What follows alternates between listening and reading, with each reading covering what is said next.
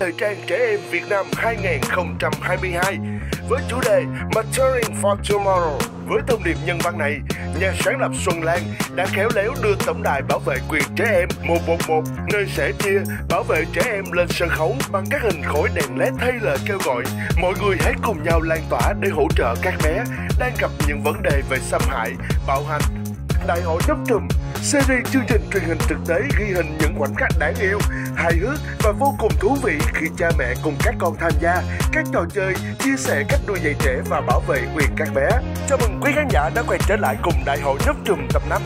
Ngày hôm nay, những gia đình nào sẽ cùng đến với Đại hội nhấp trùm nào?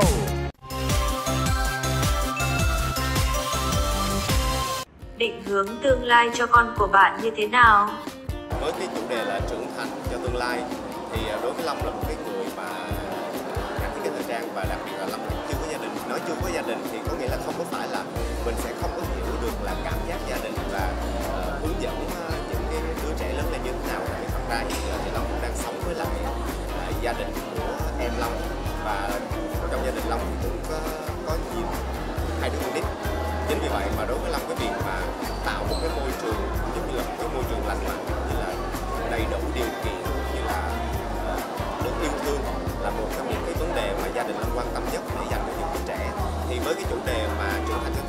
nghĩ rằng là à, đây là một cái chủ đề vô cùng thú vị tại vì à, nó sẽ là một cái thông điệp luôn nhắc nhở với ba mẹ đó là phải luôn dành cái tình yêu cũng như là dành cái sự yêu thương bảo bọc như là tha thứ và biết cách Long nhấn mạnh là phải biết cách yêu thương con mình để con mình lớn lên và có thể trưởng thành và có thể chấp cánh bay vào tương lai một cách mạnh mẽ. Và với cái thông điệp đó thì à, Long nghĩ rằng là nếu mà trong tương lai Long có những đứa trẻ những cái đứa con những hướng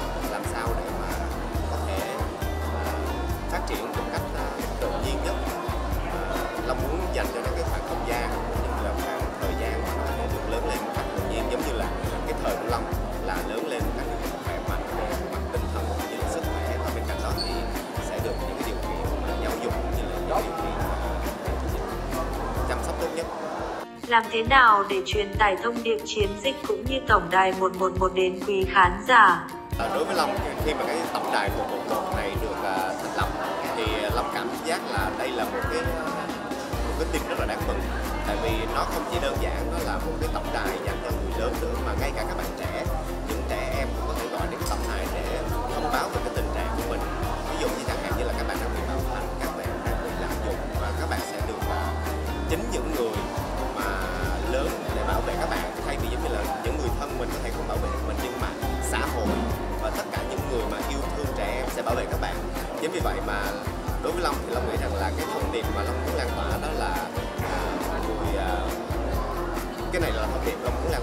cho những người lớn đó là khi mà các bạn thấy những cái trường hợp mà giống như là trẻ em bị bạo hành hoặc là có dấu hiệu bị ngược đãi thì các bạn hãy ờ, nhanh tay bấm số 111 để mà thông báo cái tình trạng mà các bạn đang ờ, phải ờ, uh, bạn phát hiện ra. Vì đơn giản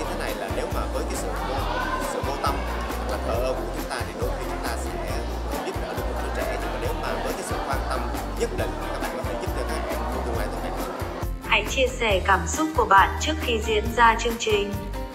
Thật ra đây là lần đầu tiên Long tham gia tuần lễ thời trang trẻ em và dĩ nhiên là Long sẽ có những cái cảm xúc nó nó khá mới mẻ. Tại vì trước giờ thì Long làm toàn là đồ nam và đồ nữ, nhưng mà đây là lần đầu tiên thiết kế cho những cái bạn trẻ, những cái em mà bắt đầu trưởng thành, những cái tuổi teen. Thì Long cảm giác là thật sự là nó cũng không dễ tí nào. Và chính vì vậy mà khi mà Long làm cái sưu thì Long cũng cảm thấy là cũng áp lực tại vì do là mình cũng ờ, lần đầu tiên trải nghiệm cái cảm giác này nhưng mà hy vọng rằng là đến cái tuần lễ này thì uh, cái bộ sưu tập của Long mang đến cái tuần lễ này thì nó cũng sẽ là một cái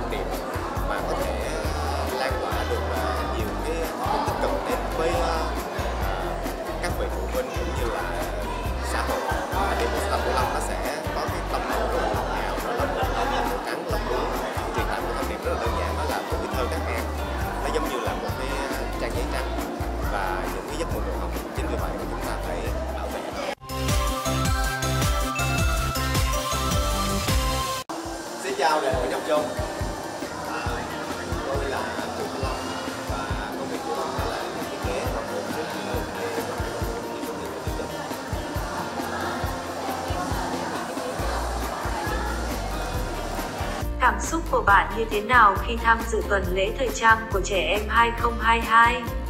Cảm giác của Long phải đến với lại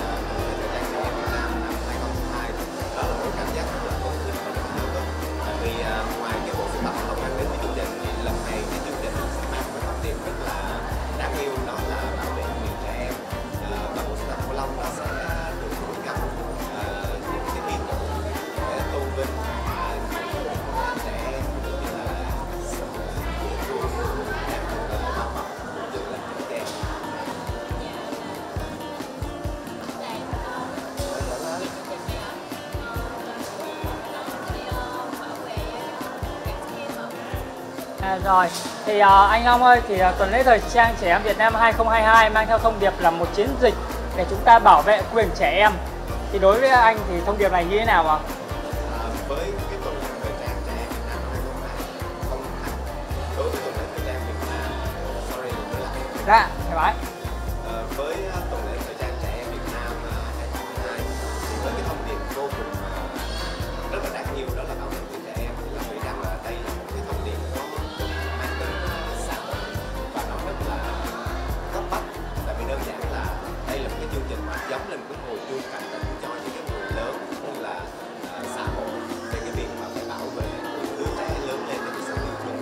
Làm thế nào để truyền tải thông điệp chiến dịch cũng như tổng đài 111 đến quý khán giả?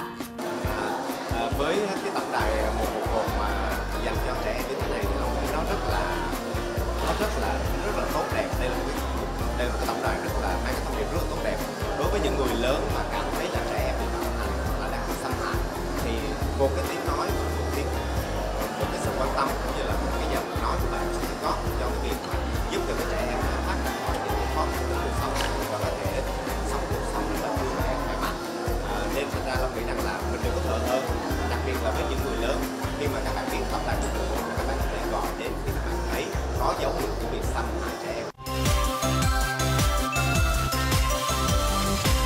Phải có tên thì mới lấy được được lấy ra.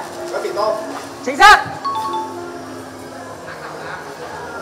Cái gì ta? Chính xác. Chính xác. Ba rồi, còn hai món nữa thôi. Tạo tạo. Đâu đâu đâu. Chính xác. Chính xác. Thành công. đại hội nhấp chùm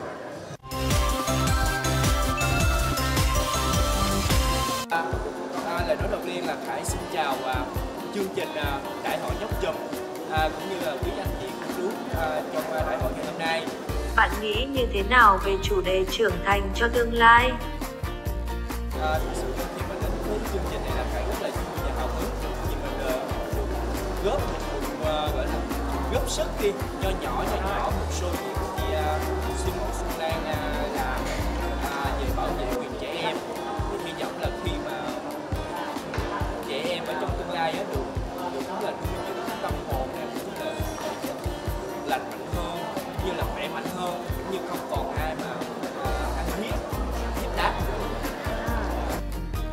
với bạn thế nào là bảo vệ quyền trẻ em đúng cách?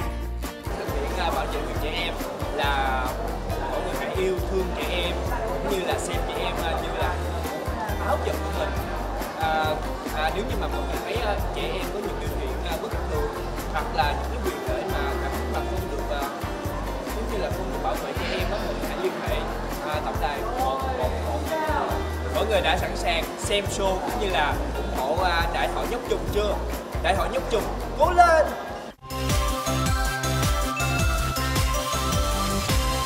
Khuôn khổ tuần lễ quốc tế thời trang, Đại hội nhóc trùm có thể xem là một hoạt động đầy ý nghĩa, là một sân chơi giao lưu không chỉ dành cho những cô chú anh nghệ sĩ nổi tiếng, nêu cao thông điệp quyền bảo vệ trẻ em thông qua tổng đài 111, mà còn là nơi giúp cho bố mẹ và con em của mình hiểu nhau hơn thông qua các trò chơi toàn diện cả về vận động, khéo léo lẫn tư duy.